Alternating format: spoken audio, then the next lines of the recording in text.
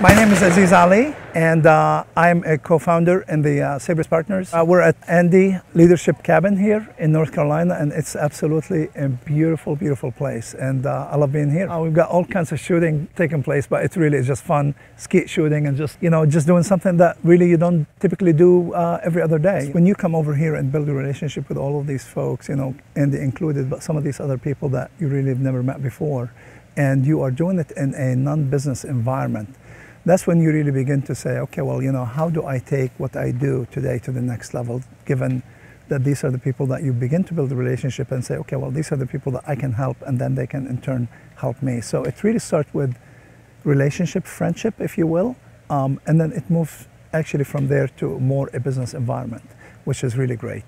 I'm blown away really with the experience and the beauty and what what you all have been able to do with this place. It's just really amazing. Um, so really from here, just having fun, uh, meeting some people, and uh, see where we go from here.